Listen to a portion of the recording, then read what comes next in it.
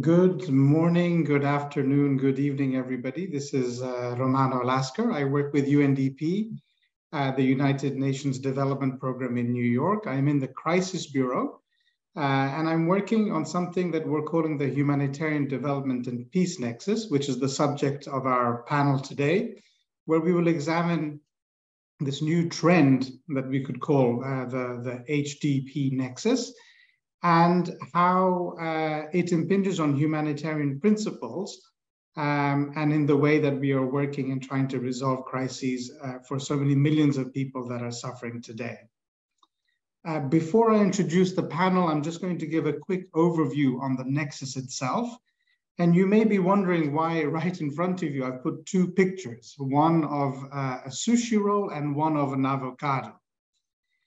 And the reason for me is simple uh, what we see here are, uh, are two objects or two foods, you could say, that are composed of three components.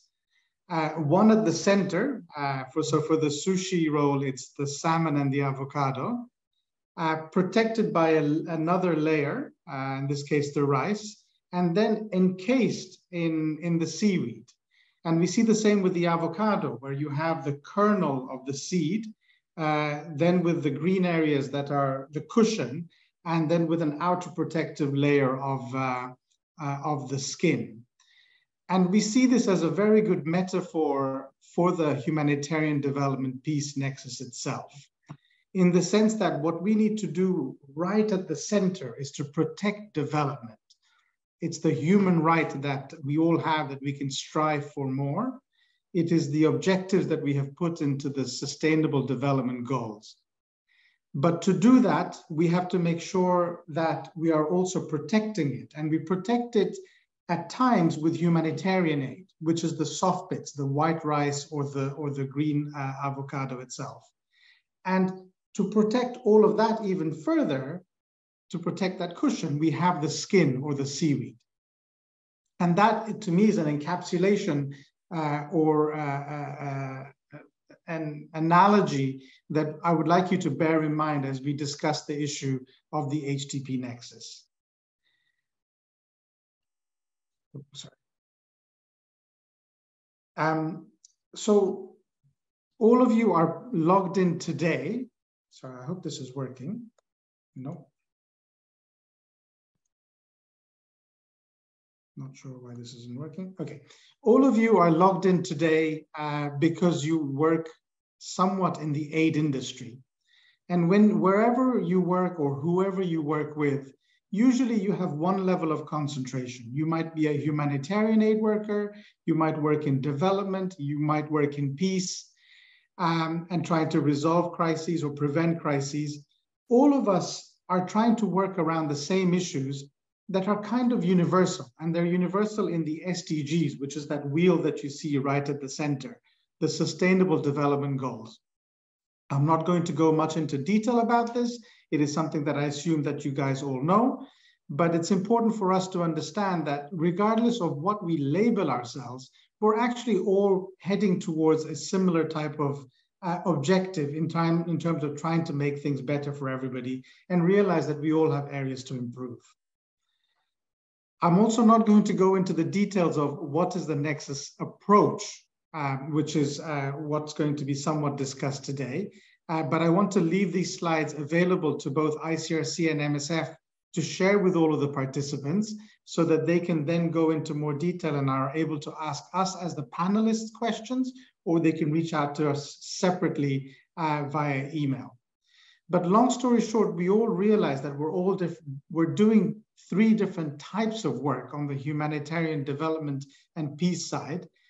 And what we need to do is to be able to do it better together so that it coincides in a way that is coherent, that is efficient, and somehow prioritizes prevention.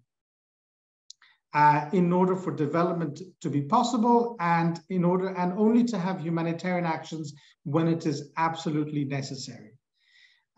In many ways, I feel that the humanitarian development peace nexus is somewhat like working as a management consultancy for the aid system, where we're just trying to tell all of these actors, all of whom are trying to do the best that they can to just act and interact in a better way. Fundamentally, the way we as UNDP have seen the HDP Nexus approach, and it is something that has been replicated in different forums, including the OECD DAC, uh, including in the humanitarian community, the peace community, the development community, and also amongst all member states that, that have agreed to it at the United Nations, it basically looks at improving three areas of our work. One is to improve how we coordinate. The second is how we program better. And finally, how this is underpinned by better financing. And all in all, what we hope to see, and I'll skip this, what we'll hope to see is uh, essentially an aid system that is more coherent, that is more interoperable and fit for purpose, that is more efficient with the resources that we have, and effective in uh, programming to tackle the deteriorating, uh, uh, the deterioration well-being for the most vulnerable. I'll leave it at that for now in terms of uh, the presentation itself. But what I wanted to do was uh, have the honor of uh, presenting the panelists that we have today. And what I would say from the outset is we have a broad spectrum of panelists uh, from within the Red Cross movement with uh, Maki Igarashi, who is the head of the IFRC delegation in Papua New Guinea. We have Colin Bruce from the ICRC. He's the Special Envoy for Humanitarian and Development Affairs. We have uh, Ella Watson Stryker, who is with the Médecins Sans Frontières, MSF, in Washington. Um, we have Giorgia Nicatore, who works with uh, Interpeace, uh, an NGO working on peace uh, responsive programming based out of Geneva. And we were also supposed to have Mr. Koji Sakane, who works with JICA in Sudan. I first of all need to apologize uh, for his absence today. Uh, as you may know, there is uh, serious fighting going on in Sudan right now and in the capital, Khartoum. He is safe, fortunately. He is able to communicate, but he is not able to be with us today. One final point I would say about this panel is that it truly reflects the nexus, because the nexus, in a way, is not only about who amongst these panelists are humanitarian development or peace, but it's also about the different types of actors. There's actors who are at the regional, global, or field level. There's actors that are uh, working for a bilateral agency, an NGO, or a UN agency. And this complex system of different types of actors doing different types of work, yet still heading in the same direction, is the complexity and the knot that we are trying to untie when it comes to the nexus itself.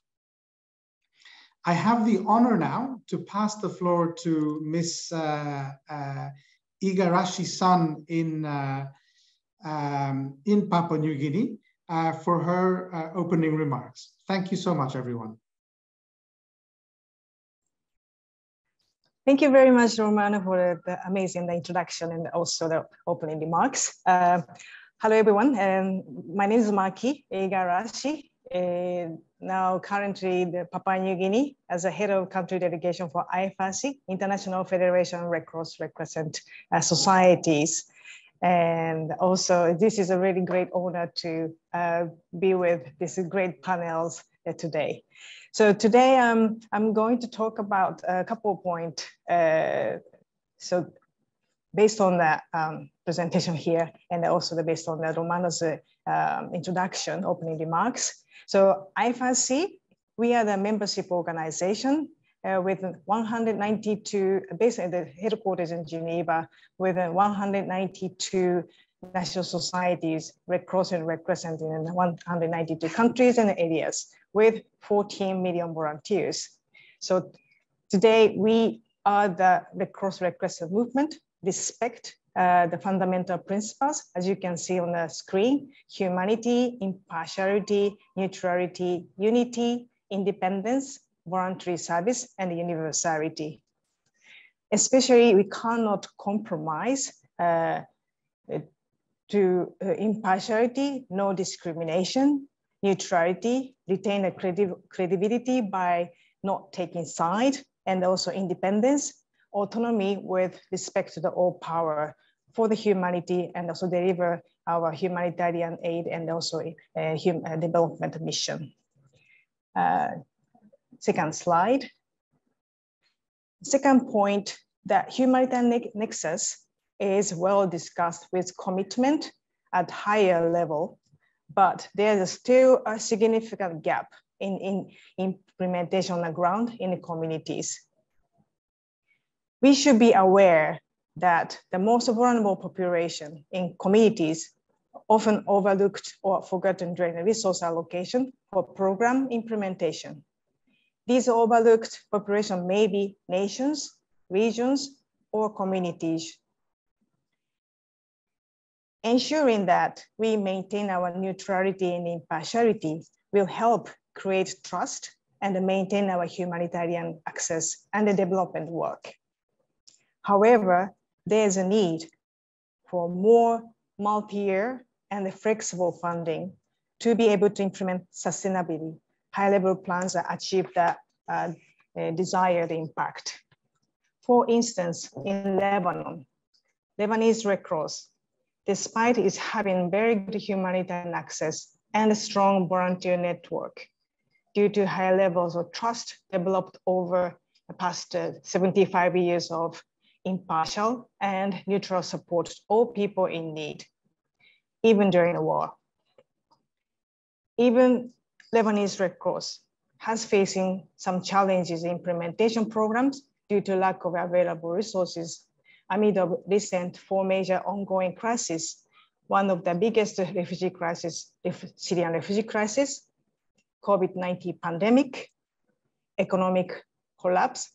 This is the, according to World Bank ranks, among the most severe, severe one and globally and Beirut port explosion in 2020 to, to provide humanitarian support to all people in need. Third point, development should be part of humanitarian response. Populations who are left behind or neglected to the during national uh, sorry natural national uh, development program are more vulnerable to the effect of emergencies they will lack the resilience of more favorable populations who may have received preferable treatment in allocation of services. It is critical that all populations, regardless of political, political, religious, gender, age, tribal, ethnicity, receive equitable developmental support, build their resilience. Many humanitarian responses are protracted it is unsustainable and unfeasible to maintain and continue humanitarian work and ensuring peace without investing in localization and developing community resilience and secure access to food, water, health, education, security, and development, uh, em sorry, empower, uh, employment and livelihood. Uh, Papua New Guinea, currently I'm in, is an example of a country where populations are incredibly vulnerable to the many localized emergencies, such as flood tide, earthquakes, volcanoes, landslide, and the general effect of climate change, as well as uh, inter, interstate conflict and civil unrest. Since the level of the development and access to basic social services are pro and, and programs are so low. Lastly, but not least, our humanitarian action and development work should not be media or political driven. Our planning implementation, planning and implementation should be based on evidence and humanitarian need.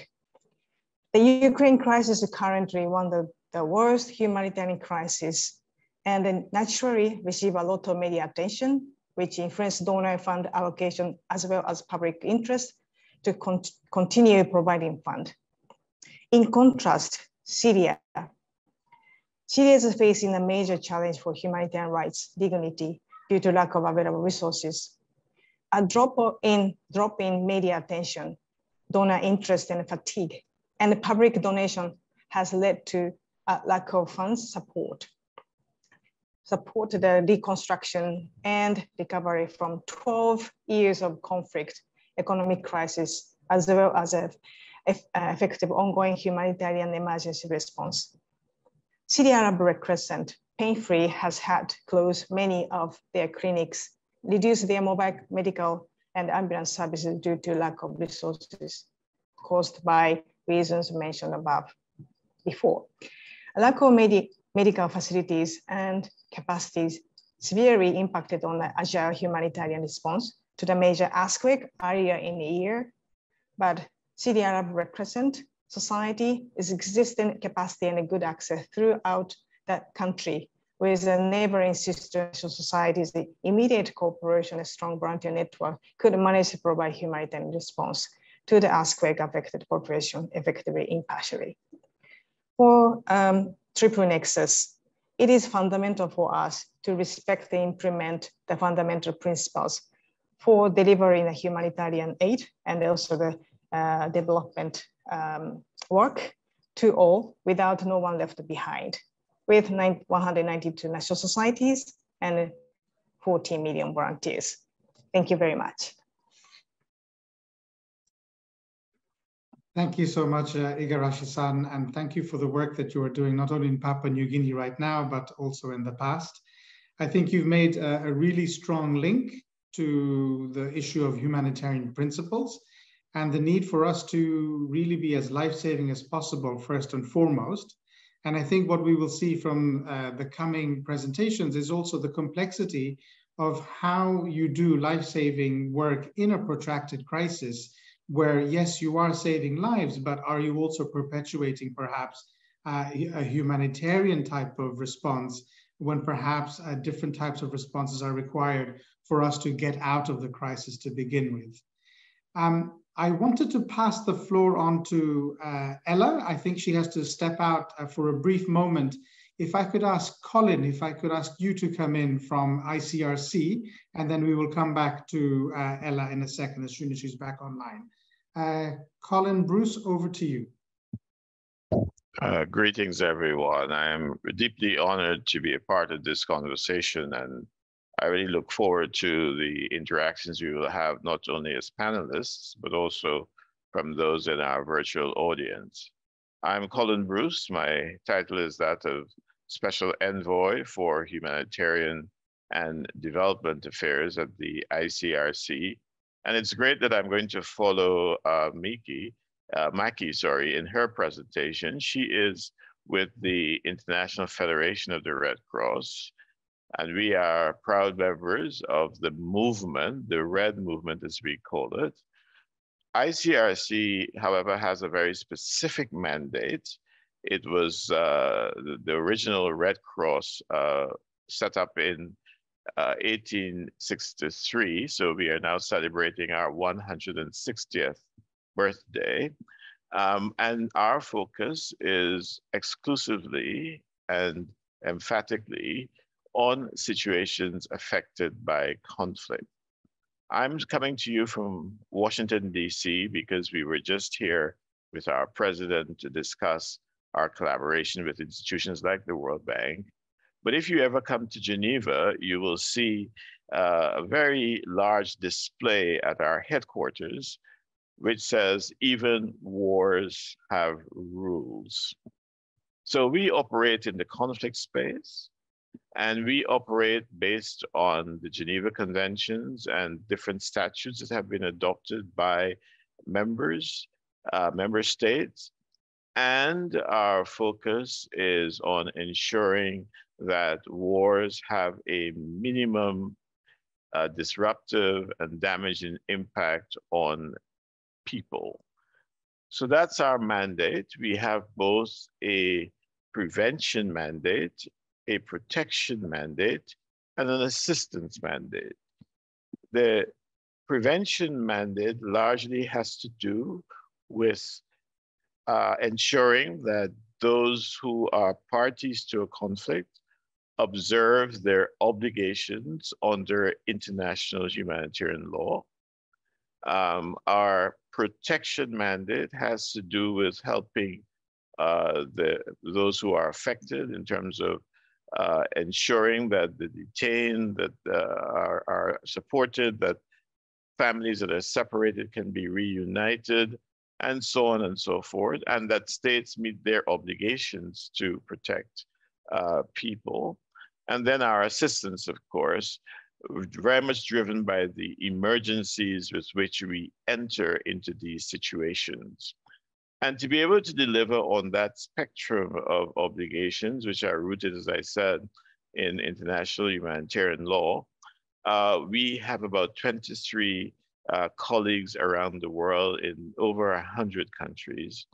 We remain present throughout all cycles of conflict, and we are often present on the front lines of conflict.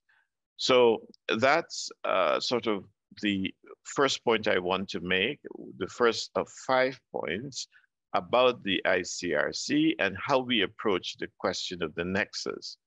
Because the mandate point that I made uh, as the first point and the modus operandi point, those are central to understanding the pragmatic and yet principled approach that we take to the nexus. My second point, which is already on the screen, is that part of the reality that we have to grapple with is that even as an emergency organization, uh, according to development initiatives out of the UK, 75% of the people who need humanitarian assistance are in situations of protracted conflict. Likewise, we know from our own research and that of a number of others that conflicts tend to arise in situations that have already had conflict. And that all of this is the main driver of humanitarian need. And what that means is that even as we immerse ourselves in our emergency mandate, we are operating among people, affected peoples, who themselves have to deal with not only the consequences of the emergency, but they also have to deal with the fact that these emergencies often morph into a really prolonged uh, situation of need, of vulnerability, of risks. And in fact, based on fairly rough estimates of our own sort of operational footprint and operational portfolio, uh, some uh, data, and this is preliminary, suggests that over 60% of what we do is in the protracted conflict space simply because of the nature of the context in which we um, operate. And that's the second point I really, really want to emphasize. And what that means practically, for example, uh, is that if we come into a situation where we need to do water trucking or we need to do boreholes, that's the emergency intervention. But if we have to be there for 30 years and 40 years, we can't continue to do boreholes, especially when so much more conflict is occurring in urban areas where you need to be thinking about urban systems and so on. So that's the sort of practical implication of the context in which we operate. We are an emergency uh, uh, actor, but when we enter, we tend to stay I think our estimate is that of, of, our largest programs, our 10 largest programs, we've been there for over 40 years. And so this challenge of what we do in response to the needs of people is one that brings us squarely into the conversation about the nexus. My third point has to do with, given our mandate, given the context that I've just elaborated, what is the appropriate uh, approach for a principled organization.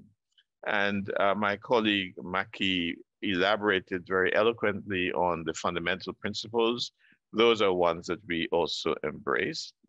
We have a policy uh, which is called accountability to affected peoples, meaning that we engage them as we try to understand their needs. And of course, all of us on this call know that people do not differentiate between, you know, what they need today and what they need tomorrow. At least in a sense, they don't uh, differentiate between who provides it. What they have are needs, needs that are immediate, needs that uh, uh, present themselves and continue to exist over a long period of time.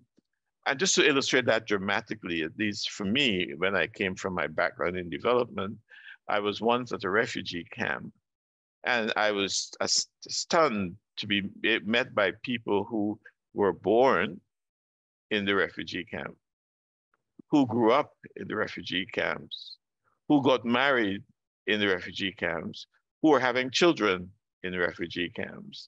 And so when you think of the life cycle of a person in that situation, which began as an emergency, one has to think of all the things that they will need to have a life of dignity. So our approach is written, is, is anchored and, and it's written up based on that a reality of what people need and as an institution that feels accountable to them. And frankly, we need to be accountable also to enjoy their trust. And we need to enjoy their trust because we also need them to give us access um, to be able to meet needs. We have an approach which involves what we call looking for sustainable humanitarian impact. So we remain true to our humanitarian identity, we uh, also uh, embrace our principles, which means at times we will say no because we feel they are in violation. Um, we try to be very clear about where we have value. So the fact that we are present doesn't mean that we will necessarily intervene, uh, but we must be clear that we are adding value. And then, of course, we are a protection-oriented organization. That's our core mandate. And so we also look at protection outcomes. I, I characterize this third point as our evolving approach because we've been at this now in earnest for about five years. So there's a lot that we have done, but there's a lot that we are still learning. And I really do want to emphasize that. My fourth point, and then I will end with a fifth point that talks about the challenges, which is the core element of this uh, segment, we have sort of a, few components that we uh, normally identify as part of this collaboration that we have. So uh, to, to, to remind us, we are a humanitarian organization recognizing that for us to be able to make progress, we must be not only meeting needs, but trying to reduce needs and giving people dignified life. To do that, we have to partner with others whose mandate is complementary to ours. And so we form relationships with development and other actors. And those relationships have a few components. The first is a sort of knowledge and expertise exchange. Um, and this is where we make our expertise available to inform and to influence what others do. Uh, and perhaps one of the most uh, significant examples of that is some of the work we're doing now on climate and conflict and trying to ensure that as we go to these various COPs and as there are discussions about mitigation and about uh, adaptation and about different green funds and so on, that those countries that are affected by conflict that often have very limited uh, absorptive capacity and often find it difficult to meet the requirements that they are not left behind in this discussion.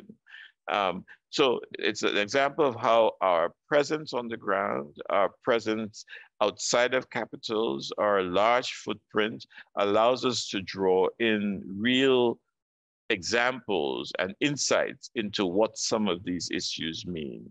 We also have lots of engineers, we have physicians, uh, we have a whole range um, of uh, different uh, uh, skill sets.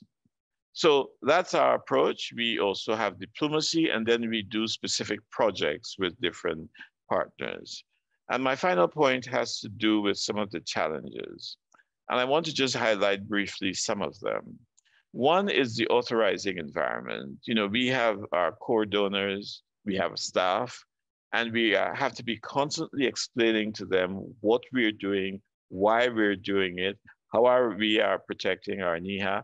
I'm here in Washington, D.C. I just met with PRM uh, in the US government. Again, just to keep this open dialogue so that they know what we're doing. We have to do it with staff, we have to do it with others.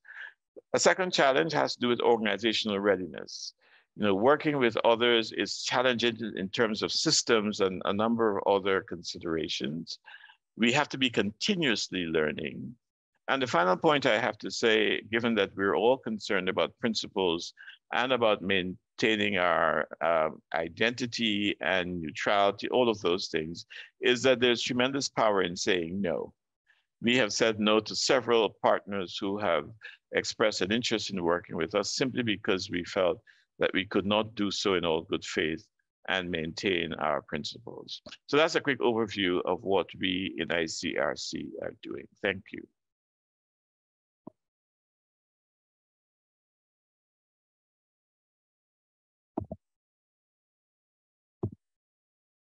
Uh, thank you, Colin, and immensely grateful for your uh, presentation uh, and for your points, and to show that even an organization that is 160 years old uh, is somehow still continuously striving and evolving um, and trying to adjust to the realities of today. Again, this is a multipolar world where there are crises that are not as simple, perhaps, as, as it was during the Cold War or as we perceived it to be during the Cold War um, and where the dynamics of what public and private institutions do, government and non-state uh, authorities uh, are doing, all of this put a lot of uh, questions in place in terms of how we as aid actors, regardless of whether we're, we are humanitarian development or peace, can best operate on the ground. And certainly it impinges on principles, which is the, the, the basic thing that we want to try and discuss today. And one of the questions that will come to us, for example, is uh, what is seen to be principled financing? Um, you know, who is it that we should be receiving funds from and can take it in what we, in a manner that we think is ethical in order for us to be able to operate. Um, and Japan, of course, is a strong donor and a strong uh, provider of overseas of unofficial development uh, assistance. And everything that they do is recorded through the OECD DAC. Um, yet this is not uh, the sole source of financing that we have uh, in um, development or in crisis in general. Um, yet it's somehow perceived to be by us as being the most neutral. But even those things can come into question when some of these same donors may be party to a conflict, for example, in a direct or an indirect manner. Uh, with that, I have the honor to pass the floor to Ella Watson Stryker, uh, who, as I mentioned, is with MSF, uh, the Médecins Sans Frontières, in uh, the Washington office. Ella, over to you. Hi, thank you. Um, good morning, good afternoon, good evening to everyone. Um, thank you, Colin, for flexibility. Sometimes working for an emergency organization means that uh, we have to deal with emergencies even in the midst of talking about them. So luckily I was able to resolve that. Um, indeed, I am working for MSF, Doctors Without Borders, and I'm in Washington, D.C. as the humanitarian representative to the US government. So I'm working out of our international office as part of an international team.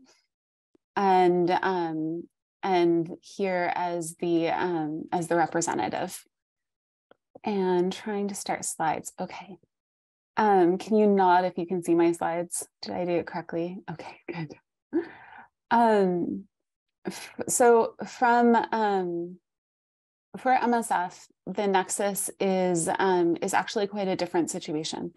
So we are um, we are a principled medical humanitarian emergency response organization. We're not a development organization. We're not a peace building organization. We've stayed really close to that initial mandate of being the emergency medical responder and this means that our work is really focused on a much narrower um, set of goals and deliverables. And we're really focused on emergency settings. We are guarded, guided by medical ethics and principles of neutrality, impartiality, and independence. And these are really important to us. They grew out of um, MSF's um, origins in, in the Red Cross movement. Um, and we've added to that an element of bearing witness or témoignage um, for, for French speakers. When, um, and I want to be clear, MSF is a very large entity. I can't by any means manage to cover all of the, the opinions and viewpoints on the nexus of the entire MSF, but I'll try to, to cover them um, in, in, in, sort of the major opinions. In terms of the issue of independence or that principle of independence, that's very specific in MSF. We've really, and Romano, you set me up well for this. Um, we've really focused on a level of financial independence that I think is a bit unique to the point that MSF does not take any funding from the US government or most large governments. So in 2021, um, I checked, that was the most recent I could find. Um, we took money from three governments from Japan, Canada, and Switzerland. And those are less than, than um, 2% of our total income. So it's a really small percent of our income is coming from governments. We're really focused on providing um, as independent of medical care as possible, and that means um, not relying on governments. Um, the other element that I want to touch on in the beginning is this idea of principled humanitarian aid. And that's really a distinct way of responding to emergencies. It's um, recognized under the Geneva Conventions. And if you are working um, in a principled way, you have specific legal protections under the under international humanitarian law, which is rooted in those Geneva Conventions. And that that protection is how MSF can work in a conflict setting. It's how we can send doctors and nurses and other humanitarian professionals into a war zone with the expectation that we will be protected, that our patients in our hospitals, our structures, our vehicles will be protected because it's understood we're not part of the conflict, that we are there only to provide medical care. We're not serving the objectives or the interests of either side to the to the violence, to the conflict. And it's really important to understand that that is that is stipulated in the Geneva Conventions.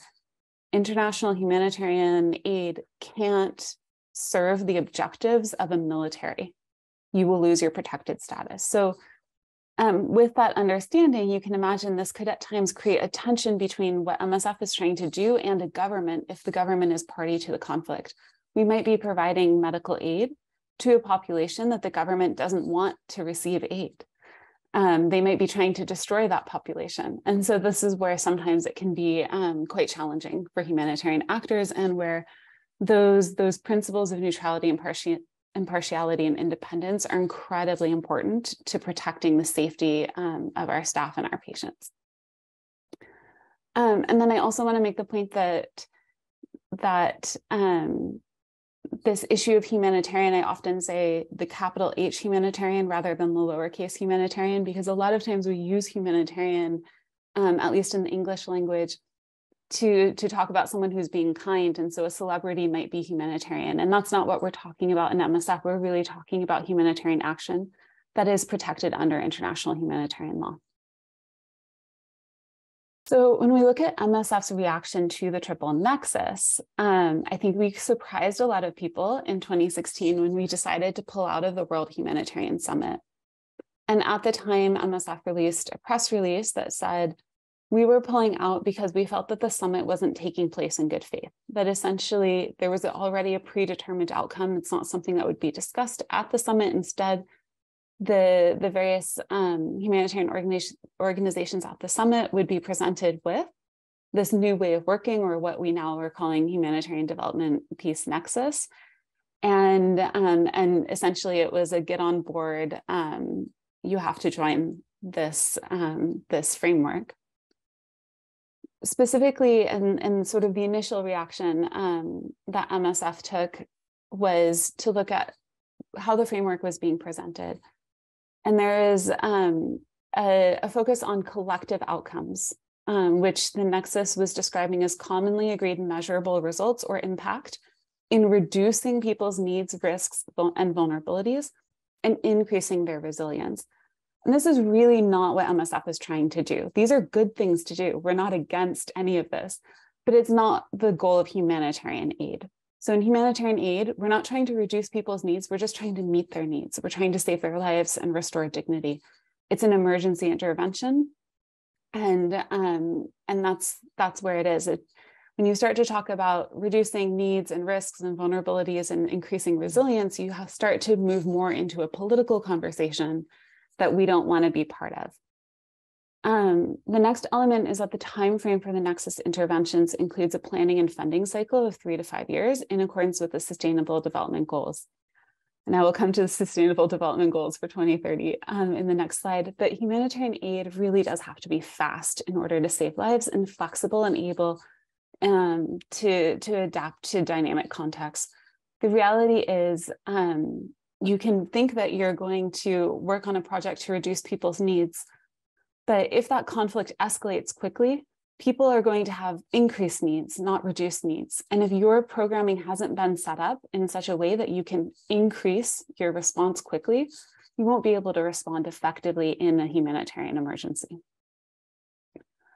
Um, so then more specifically, as time continued and MSF had more time to digest and, and, um, and think through the conceptual objections to the nexus, we come back to the sustainable development goals. And again, there's no problem with the sustainable development goals. The problem is that it's not humanitarian aid, it's development. And we worry that there's a, a, risk that we're conflating the emergency needs of people with this idea of sustainability. Um, the humanitarian approach is not sustainable. It's not meant to be. When people are hungry, we just need to feed them. Um, you can imagine if your house is knocked down in an earthquake, you don't want to wait for a construction crew to come in and rebuild your house.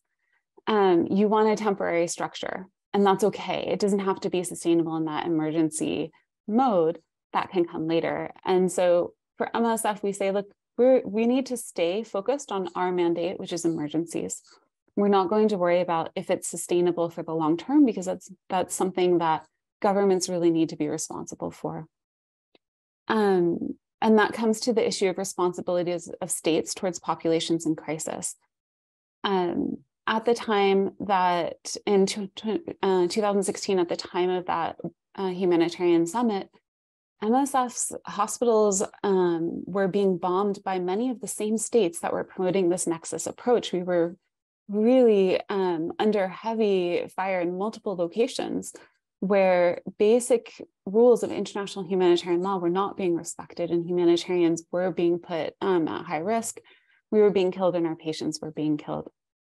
Um, it also was when we saw huge waves of migra- migrants, um, asylum seekers, and refugees trying to reach Europe. And the same states who were promoting the Nexus approach were the states that were pushing people back um, and leaving them to drown in the Mediterranean Sea. And so we really thought this is an inappropriate um, moment to hand more power to donors um, when these donor states need to actually take a look at themselves and take more responsibility for how they are treating people in crisis. And then the third element was this idea of political dimensions of development and peace building, um, which I touched on, but it's really um, to make the point that for MSF, we have to stay outside of this idea of being the government's partner. We work alongside a government. We can share data and information and meet with governments, of course. Um, but we don't work on behalf of a government. We don't work on behalf of a donor government. We don't work on behalf of the host government. We work on behalf of our patients. And it's really for us very important to maintain that strict distinction. Um, and then we came over over the years to the practical objections to the nexus, and this is really based on what we observe and what we experience in um, delivering humanitarian aid. So the first element is this confusion between development and government partners, those who are working through the government to achieve their goals, and then humanitarian or non-political actors and security risks we see increasingly that organizations are not engaged in effective negotiation, which is the basis for humanitarian um, emergencies. You have to talk to all sides of a conflict. You negotiate um, by talking about and explaining your humanitarian principles, and, and you negotiate for a safe passage for um, the ability to work safely in that context. And instead, we see increased reliance on armed um, escorts, increased reliance on governments or United Nations agencies to provide security. Um, and rather than humanitarian organizations being those direct um, interveners and, and negotiating on their own behalf. We also see that when governments are party to the conflict, this can re result in reduced access to populations in distress. So um, again, this idea that governments who are party to a conflict are going to have different interests. We cannot be so naive as to think that they're going to always act in, on, in the best interest of all of the population um, in their control, particularly in, in a time of civil war. Um, the third element is this idea of risk aversion, which is becoming incredibly difficult um, in many, many of the places that MSF is working, where we see just a lack of humanitarian actors. We've seen, for example, shifts to development actors in Haiti mean that there just isn't an emergency response capacity in Haiti any longer.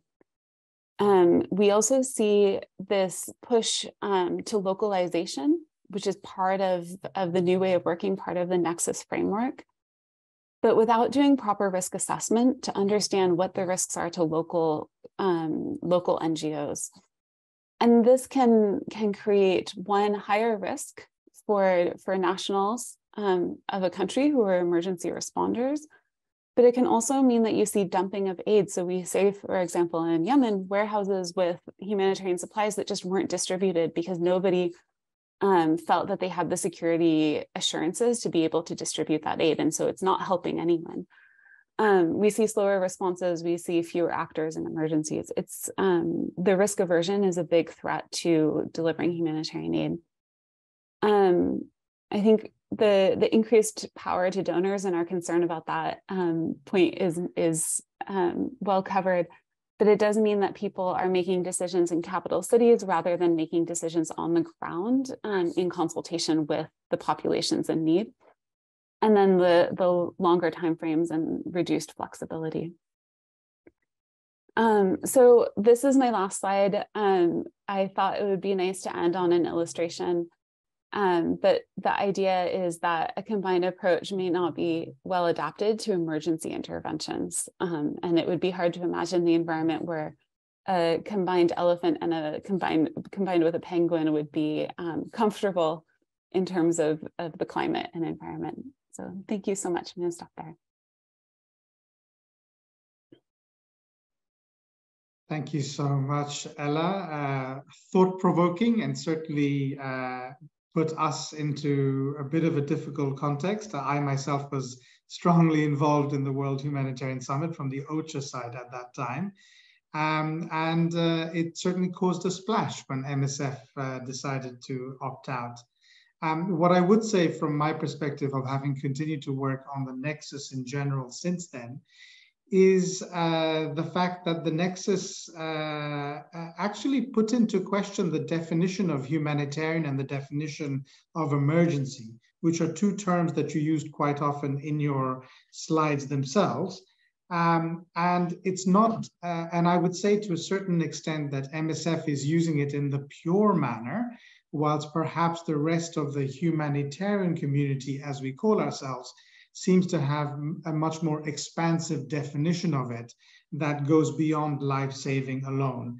And that perhaps may be the crux of, of where we're having our, our differences today, um, but which we still need to somehow bridge to be able to actually address the root causes uh, of these uh, uh protracted crises in particular. Um, with that, uh, Ella, if I may then pass the floor on to Giorgia Nicatore in uh, with Interpeace in Geneva. Giorgia, the floor is over to you. Thank you. Can you hear me? Yeah? Good. Thanks. Um, I'm very honored actually as well to, to be part of this panel today. Uh, good morning and good afternoon and good evening as well to, to everyone. Um, I'm Giorgia Nicatore and I work for Interpeace. Um, Interpeace is an international peace building organization that's been in existence now for about 30 years and um, has two facets to its mandate. Uh, the first facet of our mandate is work in to work in conflict affected settings to support societies to manage conflict in nonviolent ways um, and to resolve conflicts. And uh, the second facet of our mandate is actually to work closely with the international community, um, sort of writ large, to increase efficiency and effectiveness of um, support and contributions to, to peace and sustainable peace. Um, the reason why I'm just giving uh, giving a couple of, of, seconds to the presentation of Interpeace is that I realize that uh, among the panel, of course, um, I think I may be the well, I am I am the only peace uh, representing the only peace actor, and uh, potentially one of the smaller uh, smaller organizations as well uh, of of the panel and the conversation today. Um, I'll focus my my intervention for a few minutes, actually, just sort of on the on the context uh, of where we're we're at, and some of these elements have already been been shared by some of the panelists.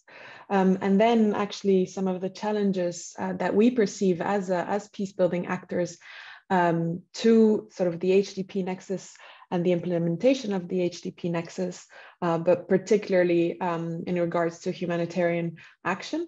And then maybe uh, some thoughts on opportunities that, that exist uh, and ways in which perhaps we can address and frame the conversation somewhat differently to find points of convergence.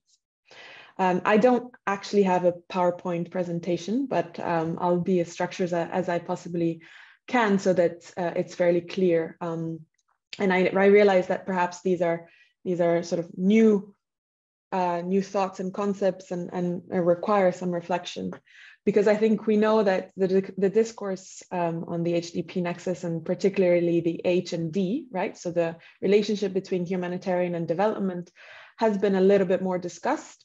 Um, but the P, the peace in the nexus is uh, a little bit less. Actually, this is, I think, illustrated by the, the sushi and avocado that we saw earlier. I, I wonder where, where peace fits. Is it, are we protecting the humanitarian and, and development action or where is it? So I think that's uh, maybe a point for, for discussion. I also want to say from the outset that Interpeace is um, very cognizant and, and you know acknowledges the fact that there are no easy answers to to this to this conversation and that a lot of learning is still still needs to be done by, by ourselves and, and others. So we are approaching this and I, I will be sharing our thoughts with uh, with humility and, and, and an open mind. Um, we, we work in, in, in, various settings across, across the world, world, currently mainly in sub-Saharan Africa and the MENA region. Um, but we've also been running what uh, we call the Peace Responsiveness Program.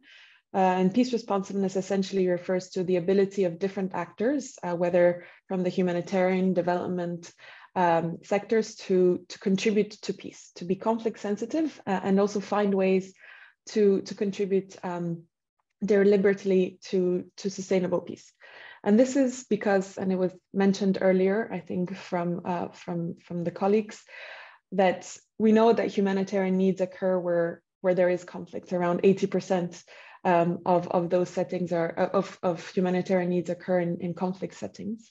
And we actually also know from our own research and research that has been that has that is in existence and has been published that often aid and humanitarian support sometimes actually um, exacerbates conflicts rather than than solving and providing and providing support and needs um, sorry and, and, and answers to need so we we have to ask ourselves difficult questions um, as to whether we we are conflict sensitive and are doing no harm to begin with um, in the delivery of our support um, and whether there's actually more to be done in order to for us to to maybe contribute to resolving some of the root causes of of, of these crises and conflicts as as Romano and others have also mentioned. Um, I think across the board we all commit to the principle of do no harm um, and conflict sensitivity by an extension of that. Um, but there's, I think, a couple of challenges related to it. Uh, one is that perhaps we narrowly interpret that to, to mean to understand it as you know trying to avoid doing immediate harm in the delivery of of, of, of aid and support and perhaps not taking a longer term perspective as to what kind of conditions and what kind of um, environments do we create um, and do we are we actually potentially undermining building blocks for sustainable peace um, by the delivery of, of humanitarian aid, for example, in the immediate um, in the immediate term. I think there are some some key challenges that have already um, arisen from the conversation, and that I just want to highlight from the perspective of the peace actor, right? Which which I'm I'm not um, I am from from the interpeace perspective, but I'm also not. Um, I don't want to also sort of say that this is what all of the peace builders out there would would probably would probably frame it as. But I think there is um, a, a perceived tension between humanitarian principles and actions for peace, and I think this stems from perhaps different um, different understandings and interpretations, and sometimes definitions um, of what peace means. Um, and I think here, what we have found useful in our different um, conversations and dialogue with both development and humanitarian actors has been trying to distinguish um, between what we would what we would call capital P, peace, big P, and small p. Um, and this is, it's quite an interesting parallel with, uh, with Ella's um, definition of sort of capital H and, and small h humanitarian. I think big P peace can be interpreted as providing security, um, elite level or sort of high level mediation processes, political peace um, at, at those levels, which can indeed, and has been highlighted very, very eloquent from the different colleagues, be in contrast and in tension with humanitarian principles. But when we come to looking at what can be defined as small p interventions that have to do much more with social cohesion um, trust, um, and more broadly speaking, resilience, I think we can find a little bit more points of convergence in our in our conversations. And sometimes I think um, we can also find ways in which we are well, we find we talk about similar things perhaps, but using uh, using different different words. So picking up from from what others have already talked about, you know, accountability to affected populations or wanting to be sensitive to cultural norms and ways uh, and ways of living of communities, for example, is at the heart of understanding conflict dynamics and and and being conflict sensitive um, uh, as a, as a start.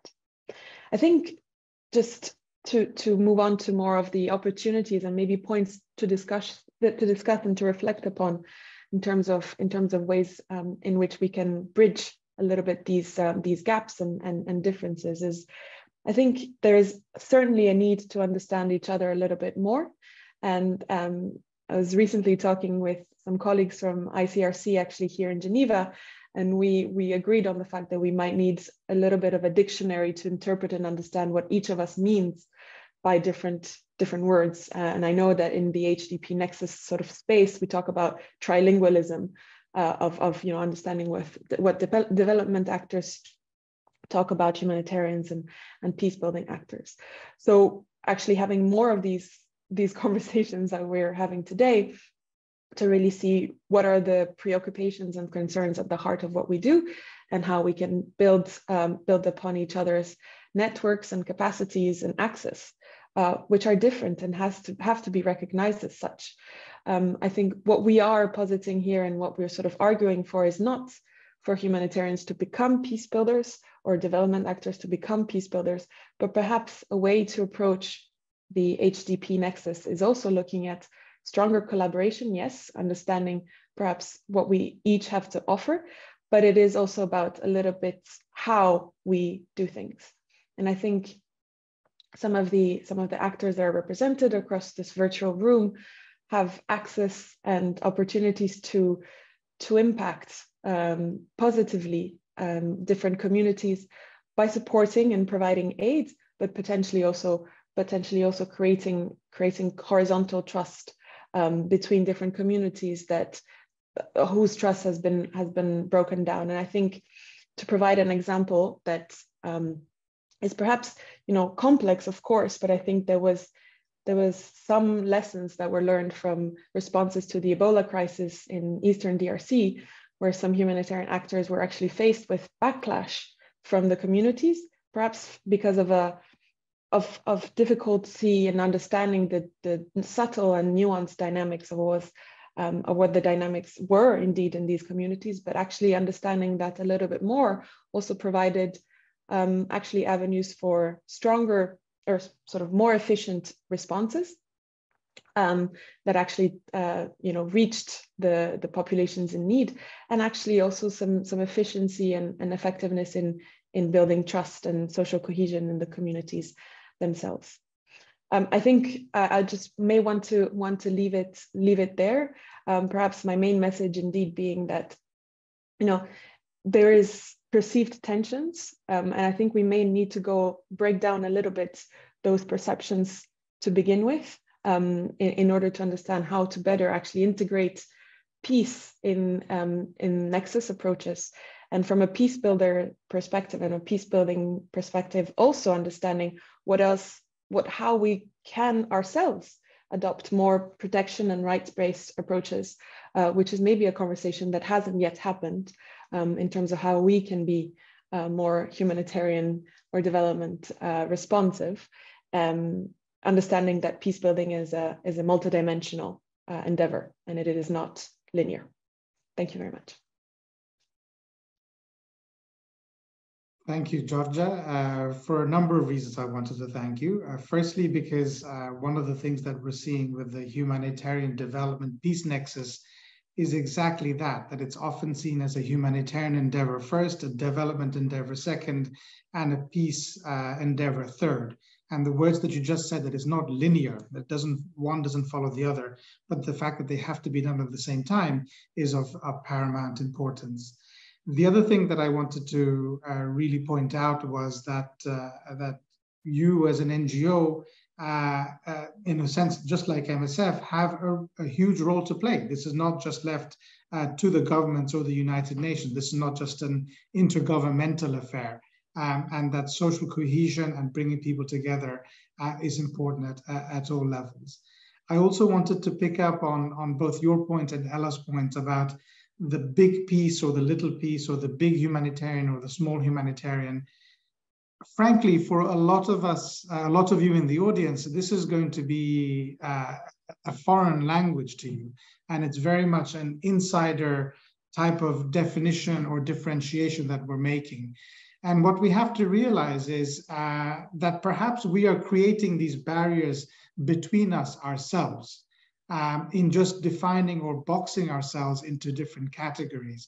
And what we should perhaps try to do is to think beyond that and just think about the fact that a lot of the people who are being assisted don't care who is assisting them and whether they have a label of being humanitarian development or peace, or whether they are government, NGO, or UN, or whether they are uh, the national government or whoever else. Uh, they just want to be helped. And actually, uh, most people don't want to be helped at all. They just want to be back on their feet and to live their life as they used to. And that's where we have to realize that we all have to work to our comparative advantage.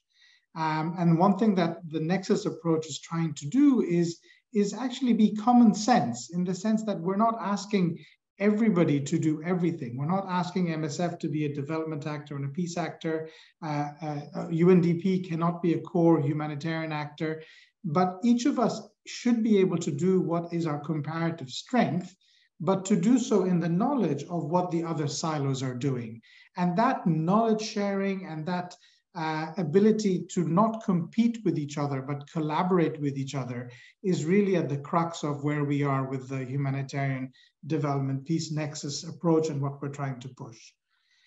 Um, what I would like to do now is to open the floor uh, up to uh, the audience and just to see uh, what has uh, come up and, and how we can get the panelists engaged.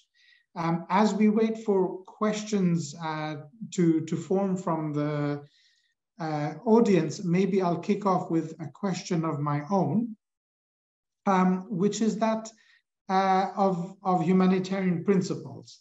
Um, so my question to the panelists is, uh, are humanitarian principles an asset or a hindrance to the HDP Nexus approach? Are there instances where humanitarian principles and humanitarian space are being used as an excuse or, or, uh, or an obstacle to not work uh, across the nexus? Uh, and if so, how do we overcome this? Uh, again, I'll put this into the chat as well, just in case uh, it's easier to refer to. Um, but maybe I would pass the, the floor uh, first to Ella uh, for you to give us a, a nice thought-provoking feedback, and then I'll pass on to the other colleagues before, before we then open up to audience questions. Ella, over to you. Thanks. Um, thank you for that question. Um, as MSF, I will have to completely object to the way it was framed and reframe it to suit um, the way my my organization operates, um, which is that it's not the humanitarian um, principles are a hindrance; they are a necessity. It's the only way that we can work in conflict settings. It's the only way that we can build trust with communities. It's the only way that governments will allow us to work, and it's the only way that we have protection under international humanitarian law to work in those spaces. So it's not, this isn't an option for MSF. These principles are a necessity. They're the foundation for how, why, and where we work. Um, in terms of being used as an excuse, if you are violating humanitarian principles, that's the time in MSF where we start to reevaluate if we are with if we should continue that work. So if we cannot work in accordance with, with our principles, we start to have the conversation, do we stop this project? Do we change the, the location that we're working because we can't work in a principled approach? Um, or do we change um, who is working here and who we are serving, or do we just stop working altogether? Um, so it's not so much that it's an excuse. Those are the tools. Those are the, the sort of necessary conditions um, for us to to work in in a complex setting. So, and I I don't want to give the sense that all the principles are sort of fragile things kept in a glass case, and if something's missing, you can't operate. No, but they are tools that are used by humanitarians, and if you empty the toolbox out, we can't do our job anymore. Back to you. Thank you, Ella. Maybe if I could ask uh, Colin first and then uh, Maki to respond. Colin, because obviously ICRC works only in conflict settings, and then Maki, A, because you're in Papua New Guinea that has the combination of natural disasters and the complexity of the insecurity. I'd love to hear your feedback about the practicalities of, of wanting or continuing to want to work while still adhering to, to the principles. Colin, over to you first. Um, my answer is that, uh, first of all, uh, like Ella, and I'm sure everyone else on this panel, I fully agree that we need humanitarian principles to be able to uh, operate. And for all the reasons that have been mentioned, I, I like to tell people, especially from my other um, professional journey uh, in development, that you know it's an existential issue, not only because of our core identity, but because it puts our staff at risk if there isn't an adherence to these principles. Uh, but I think two things can be true at the same time. They can be essential, but they can also be used as excuses.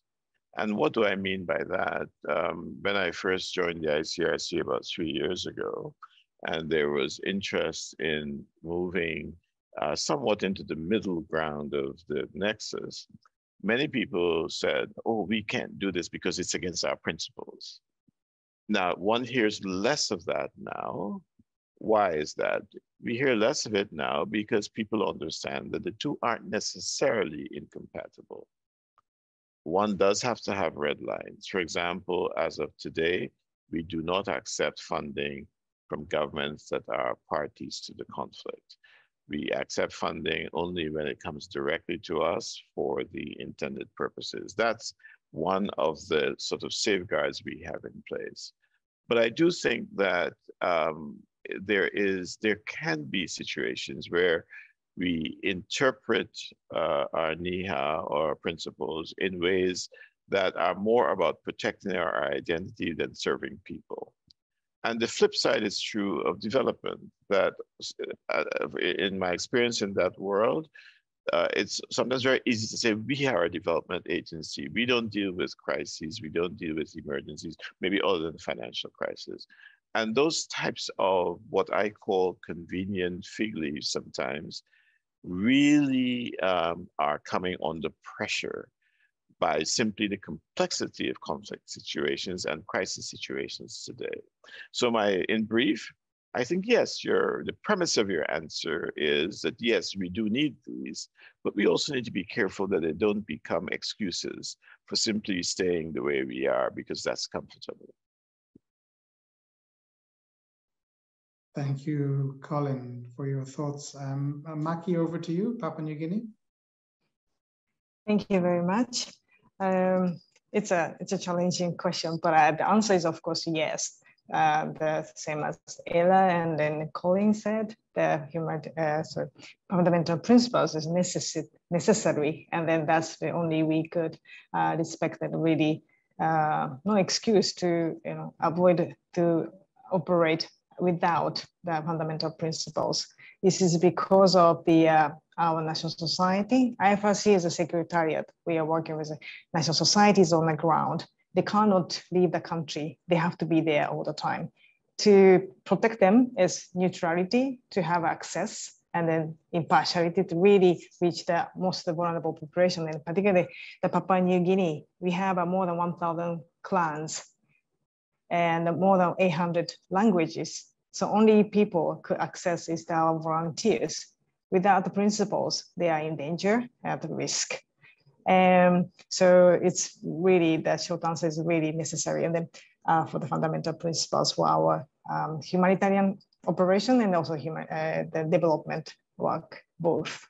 And excuses, mm, I'm not sure. This is a, um, unfortunately, I don't have any answer for um, or experience for that. And also I'm com- I've been working in the Middle East for seven years and coming to Papua New Guinea. It's totally different context, but still um, we are really observing uh, the situation and also the, our principles always with us to, to do the work.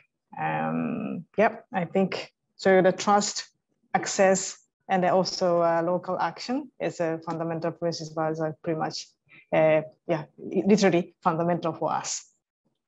Over. Uh, thank you, Maki. Uh, in the meantime, I'm thankful to uh, two audience members that have uh, posted their questions in the chat.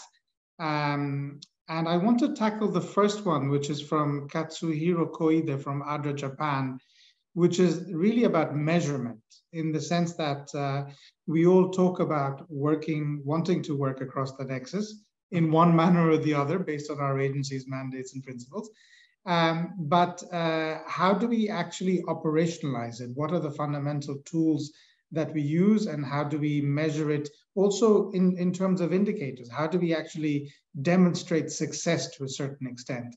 Uh, Giorgia, I wanted to get your viewpoints from the peace side first, uh, and then and then come back to you again, Maki, because a, because of your experience in the Middle East, but also because you're there operationally on the ground, and you could perhaps give us a good example of where you've seen uh, the Red Cross movement and your partners uh, work and measure uh, the, the progress, uh, at least the way you see it on the Nexus. Uh, Giorgia, first, over to you.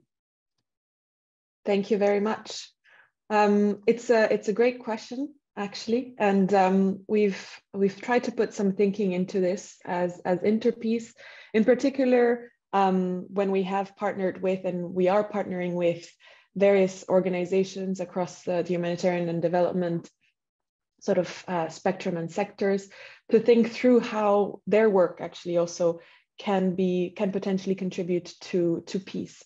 So there's we talked about operationalization and tools and measurements. So quickly on on on these three points.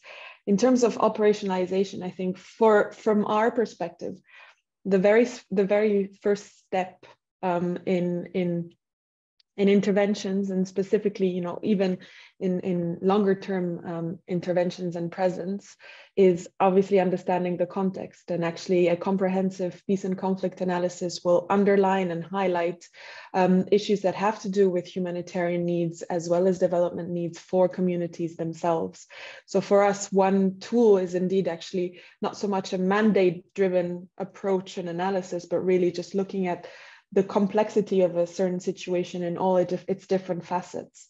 And as I say this, I also just wanted to highlight perhaps my answer to the question before, which I realize I'm not positioned in a good position to, to provide, but I do think that humanitarian principles are an asset for an HDP Nexus approach, quote unquote, because because of it, they do actually provide access um, and uh, to, to, to various actors where maybe some of us don't um, as well.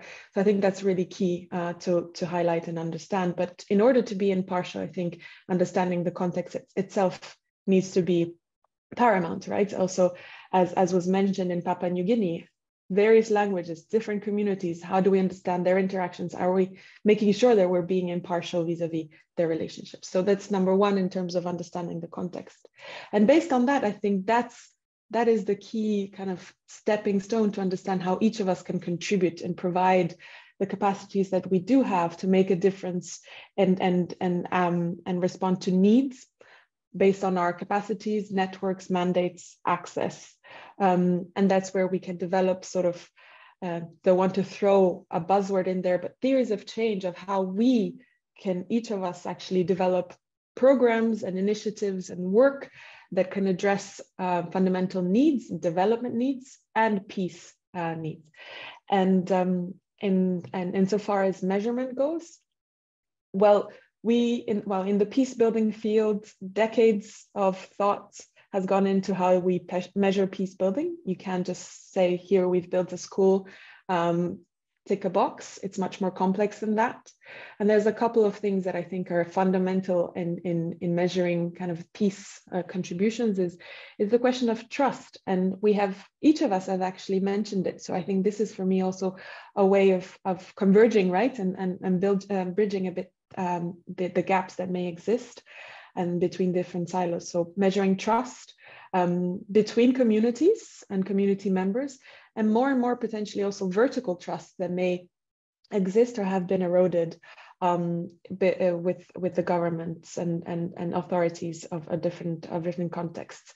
It's easier said than done, but there's uh, various ways in which we have approached it. I'm very happy to also share resources um, that we have put forward and also other peace building organizations have. Thanks. Thank you, Giorgia. Uh, over to you, Maki, maybe a good operational viewpoint from yourself. Yep, uh, thank you very much. Uh, this is a uh, also interesting question and it's really um, honored to answer or to just share some experience in the um, Middle East, maybe Lebanon and Syria. For, for instance, in the Lebanon, uh, we have I explained in the first presentation that we have four crises that are the biggest crisis at the same time and how to how to reach out the last mile population or even the core population to reach out. So that's the co collaboration that definitely the human HDP Nexus is the centered and then also the people-centered approach and a cluster system and cluster mechanism and a co coordination mechanism should be in place and also everybody respected and then work together. So for the measurement, um, the risk mapping and also the um, stakeholder mapping, so who's doing what to make it clear and then not com, com, com, yes, competition, as everybody said, everybody has a strength, and then also particularly Red Cross has the strongest net, uh, network, and then there's access in an entire country. So there's some areas really other national, uh, the stakeholders uh, and the partners couldn't reach. So that's the uh, the uh, the uh, our national society, Lebanese Red Cross, could deliver the uh, all the humanitarian um, aid as well as development work.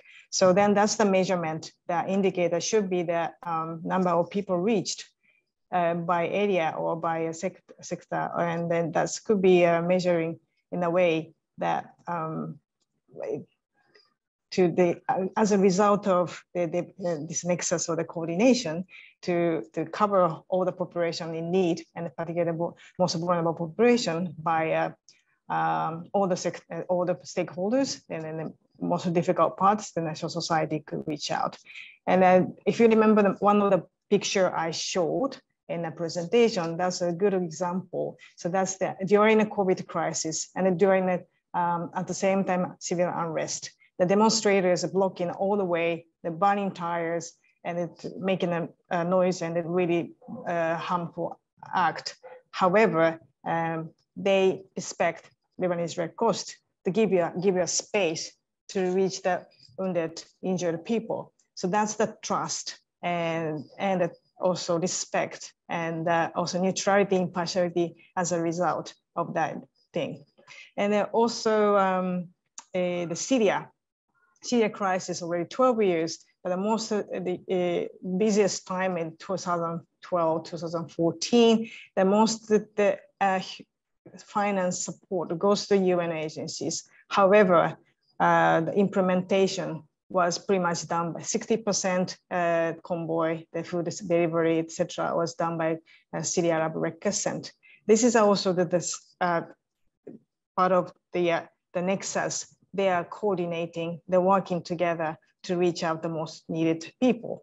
So uh, to measure also the uh, number shows that the impact and then uh, outcome of this nexus and uh, also the, uh, the, our strengths and also other people's co cooperation and collaboration. And um, so that was the also Syria case. We had a good example in the past and also hopefully continuing doing that, but the financial crisis doesn't help. But that's the uh, um, just one of the example in the Syria context that uh, our national society and UN agencies, donor society, donor uh, societies supporting each other to really implement in a, in both government control area and then others. Over. Thank you, uh, Maki. Um, I wanted to take the question from uh, Masayo Eguchi of Hiroshima City University, but I wanted to give it a little bit of a twist. Um, her question that she has posed to us as the panel is, uh, how do you think the triple nexus challenge challenges each humanitarian principle and which humanitarian principle is the most controversial uh, in our opinion? Um, what I wanted to ask was, uh, uh you know, which humanitarian principle perhaps is being most misused um, in your view? Um, uh, and, and where is it perhaps where there might be contradictions within humanitarian principles or within the principles themselves? Uh, we've seen it, for example, we, we, you know, Colin, you spoke about the NIA, uh, Ella, you spoke about the, I believe the five principles from the MSF side. I believe OCHA has four. Giorgia, from your side, you spoke about uh, the do no harm principle at the most basic level. Um, are there contradictions between these principles where one perhaps juxtaposes with the other? Uh, I wanted to first uh, go to uh, you, Ella, and then pass on to Colin, if that's okay. Ella, over to you. Sure. I mean, I think it's a really good a really good question. Um, yes, the principles are in conflict with each other. Within MSF, we spend um, hours and hours every year having multiple debates over how to resolve um, that those issues. It's um, again, I think what we we need to remember that the principles are tools so that we can deliver aid to people in distress they're not meant to block people from getting access and i think the the comment of people don't care which organization whether it's an emergency organization or a development organization is delivering aid. That's true. They don't care the color of your t-shirt but they do care if they're receiving humanitarian aid or not.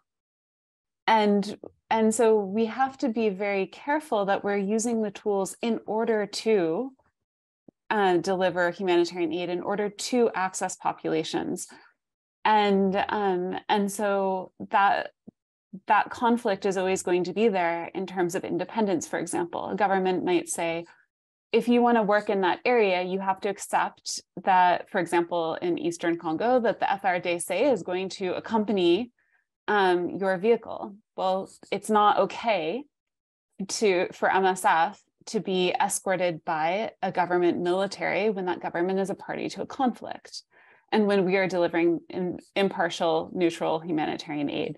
So that those issues, um, that's an example of sort of where those those principles can be in um, in conflict. Medical ethics and humanity would say, do whatever you need to do to get people the medical care, and and yet the neutrality, uh, the impartiality, and the independence would say, no, we can't we can't work in in these circumstances. Um, I think in terms of um, how the nexus challenges, I think the challenges are more often seen in the independence element of the principles, in that the nexus is very much donor driven. So the donors, the government donors who um, who have the most power in the nexus set a humanitarian agenda and they say these are countries, these are contexts, these are populations that are priorities for us. And that means that some countries are not going to get aid because they are not politically aligned with the United States of America, for example, or they will be less of a priority. And so I think that independence element is, is probably the one that is most challenged by the Nexus framework. And it's because of how the Nexus distributes power within the humanitarian sector. Back to you. Thank you, Ella. And maybe Colin, over to you, perhaps as the uh, as the last intervention from the field before we just do a last round of uh, of uh, concluding remarks from all of us panelists. Colin, over to you. Colin, you're on mute. My apology. I'll, I'll respond to it maybe from a slightly higher level as opposed to being maybe uh, an ICRC issue, rather more a sort of slightly broader issue that emerged in the context of the Ukraine crisis. When in Switzerland, as you know, there was this intense debate about neutrality. And, um, and where uh, there were some questions about whether by emphasizing neutrality, um, the Swiss government and, and for all kinds of other reasons, um, institutions like ICRC were not recognizing that there was one party that, if you like, was the aggressor and one that was, in fact, simply responding to the aggression. Um, and that, of course, has other implications for the other principles as well. So I do think, at least in this particular case, there was this example where there was a sense that neutrality meant endorsing some sort of wrongdoing, and some might go even further and say uh, might have been endorsing violations of humanitarian law and somehow trying to skate above uh, all of these considerations. Um, so that's an example uh, in my mind, which um, is perhaps one of the things that in this kind of newer environment where everything is now heavily politicized, everything uh, is politicized, that also our the legitimacy, even of an approach that is well-meaning, um, where uh, we have to be mindful that uh, these high-sounding, well um, established uh, guiding principles may not always resonate uh, with those we are trying to assist. I've used the Ukraine example, but this also begin, begins to show its head in other ways. The localization agenda is partly an issue around um, our legitimacy um, and the extent to which now some of the things that we do we in our community meaning are being seen more as sort of Western imposition or Western creation of, uh, of dependency. Um, I don't think that these uh, sort of underlying trends and examples are extremely pervasive, but they are becoming, in my view, uh, considerations which we will increasingly have to take into account. So in short, the principles are ones to which we are firmly committed, but we also have to be mindful that we are vulnerable, notwithstanding, to misinterpretations, to misinformation, to disinformation, to ways that actually undermine uh, what we are intended to do based on these principles. Thank you, Colin. Um, with that, uh, first of all, I wanted to give a big thanks to the audience for listening, for the panelists for their remarks, uh, particularly for those of you who are doing this in the middle of the night. I know that uh, um, it's it's many many hours away from Japan, but we wanted to make sure that uh, that uh, certainly this important audience was able to to get the perspectives from the different actors wherever they are, whether it's global, regional, uh, field, whether it's uh, at headquarters, whether it's you're uh, an NGO or the UN or the Red Cross movement, and also whether you're humanitarian development of peace. And that's that's the beauty of this panel here. And again, it would have been the cherry on the cake would have been to have our colleague also from Sudan, from JICA, um, who actually demonstrates for us the, the, the difficulties of doing this job. Uh, he is probably there, uh, you know, trying to reap the benefits and the fruits of what was uh, seemingly uh, a peace process that was faltering, but certainly going in what we thought was a positive direction. And yet, this has been all put to test uh, in the last couple of days with the fighting that, that is going on there. What I would like to do is just to give an opportunity to all of you to uh, say anything else that you may want to in a minute or less, um, and after which we will pass the floor back to um, uh, the organizers. So if I could just do it in the same order that we spoke, so Maki first, Colin second, Ella third, and uh, last but not least, Giorgia. And Maki, over to you. Thank you very much. So this is a great uh, opportunity to learn from the panelists and also the Romano and also the audience. It's a great uh, honor to be here. And then it's really, we think about humanitarian uh, principles and then also humanitarian nexus to how to uh, deliver in Papua New Guinea and other countries. But we together for humanity and we continue to focus on the people centered and also to reach out to the last mile population. So thank you very much for uh, listening and also the inviting me. Thank you.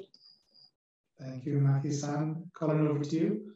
Maybe two final points of reflection, one of which I touched on during my immediate uh, past intervention. I think we focus a lot on the principles, uh, and rightly so. They are fundamental to who we are in the humanitarian space. I do think that, like in the development world, we will increasingly face issues about our legitimacy, which is to what extent do we actually represent um, not only, if you like, the moral elements of our mandate, but that we actually have something to offer which really respects people's uh, dignity and that we ourselves are not somehow tainted by those who are funding us, irrespective of whether it's public or private. And for me, that's something that um, is giving me pause in my role and increasingly trying to understand how we can be more sensitive to these issues, which are increasingly surfacing partly because of social media, partly because we are dealing with a very different information landscape. So principles have animated the conversation today. I think legitimacy is something that we will have to grapple with in due course. Very true, Colin. Thank you. Um, Ella, over to you. Um, I I want to go back to the the idea of root causes, um, and and say that you know one of my educational mm-hmm. backgrounds is public health, and public health is all about root causes. But um, as we often say in MSF, we're not a public health organization, we're an emergency medical organization. And root causes is a political narrative, and it's a focus on how governments can better meet the needs of their populations. It's not for me and it's not for anyone in MSF to tell a population um, how to address their root causes. That's really something that people need to do independently from humanitarian emergency actors. We, are, we aren't the right people for that. Um, and it, it would definitely fall outside of a principled humanitarian approach um, be, because it does go to political organization. Um, on um, sort of the final, the final remark is more along the lines of the fact that we are increasingly see a, seeing a loss of ability to respond effectively to humanitarian emergencies. We are seeing more and more gaps in, in the acute emergency phase we are seeing fewer actors who have the ability and the willingness, frankly, to work in difficult contexts. Um, and, and more and more organizations who are really focusing more on the, the longer term development needs um, and leaving people essentially to die in the acute phase. We are seeing it in Eastern DRC right now, where there is a massive number of people who are internally displaced, who are without um, food and water and shelter and basic um, needs, and there's almost no response to those needs. Um, I think we also saw Afghanistan as a really good example of how um, how we failed a population. So in Afghanistan, the basic services that the population relied on were organized through the NATO-backed government. And when that government fell and the Taliban took over, all of those public services essentially stopped. Because nobody knew how to work through a different government and and frankly the donors are not willing to work with the Taliban. They're not willing to recognize them as a legitimate government and they're not willing to to work through them. And so what it means is MSF and, and ICRC continue to work. Everyone else evacuated their staff. Um, and it's taken weeks and months for emergency needs to be addressed again. Um, there are still huge gaps in Afghanistan, and it will take years for the development and the peace um, actors to come back um, if they do, in fact, come back. And so there's really, um, we have to find a way to meet those acute needs and not lose that capacity within, within our sector. Thanks. I think what you're saying, Ella, about us essentially handicapping ourselves by knowingly or unknowingly putting ourselves in one camp, I think is is is extremely irrelevant. And I think this point that we don't have the, the time to discuss today about how is development done in a context where the government is not legitimate is is an, is an existential question for the development system as a whole. Um, and perhaps we have to park that for some other time. Uh, Giorgia, over to you, and after which we will uh, kindly close the panel. Thank you very much. Maybe one thought that I, I'd like to just leave um, the conversation with, which is that I think in developing thinking around the HDP nexus and the, the idea of having to be more coherent across sectors and silos, we have, I think, unintendedly perhaps created even more um, challenges in constructing something that is that sounds heavy, that may be, as you also said, Romano, a new language for some, uh, but I think we really have to remember that across all of our um, agendas, if, if that's the right word, but at least are the work that we do in our sectors and where we are present, we're talking about people's lives. Um, and I think that there's there's obviously you know acute crises and needs arise because of issues that have to do with um, challenges to peace, challenges to development, and that they are systemic, and that therefore we each have a role to play. And I think, if anything, we have to share more knowledge, lessons, even challenges, and, and be much more open about those and see where we can each leverage um, each other's capacities. And as I said again, access and legitimacy where we do have it. Um, and or when we can construct it or um, are able to build upon it in order to actually respond to multidimensional, multifaceted, sometimes very acute needs uh, of people. Um, thank you. Thanks for having me uh, today and thanks for moderating the panel um, so well, Romano. Thank you so much. And with that, I actually want to thank the organizers for having us from such a diverse background. I think uh, we certainly benefited from speaking with uh, or speaking to an audience that is diverse from the ones that we usually get, certainly from my side in New York. Uh, we hope to keep the dialogue open. Uh, one small plug from my side, and I think that Suya and others will be able to pass on the link later, but I am the manager of something that's called the Nexus Academy, in which our main uh, focus is to try to improve trilingualism, trilingualism of the three languages of H, D, and P, uh, just so that we understand that we are reaching out to the same people, that we're trying to have the same goals to a certain extent, that we're each trying to work to our comparative advantage, but to, to work and help optimize our own work we just have to be better aware of what each other's do. And so it's, a, it's a small course that's done virtually uh, four times a year, uh, which I would encourage a lot of you, if at all possible, to come and uh, uh, uh attend. Uh, and if not, there is an online course as well, which you would be welcome to do. And again, I will post the links and ask Tatsuya and Yoshino to, to circulate around. But with that, I really wanted to thank you all, and I'm sure that the recording will be available for everyone to watch. Thank you again so much. Have a good day Bye. and uh, evening to everyone. Bye-bye. Bye-bye. Thank you.